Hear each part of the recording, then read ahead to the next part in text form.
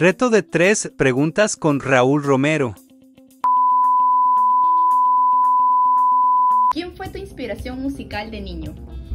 Eh, Pluto. ¿Cuál es la primera frase que se te viene a la cabeza cuando escuchas? Cuac, cuac, cuac, cuac, cuac. ¿Cuáles son las tres últimas canciones de tu Spotify? Una noche más de Amanda Miguel, porque la cantaron unos concursantes y, y- y- y recobré esa canción. La tenía enterrada, que es lindísima. ¿Y qué más escuchaba? Nos mostró su Spotify. Yo tengo un viaje a Italia que hicimos con Carolina. Yo tengo un, un, un playlist.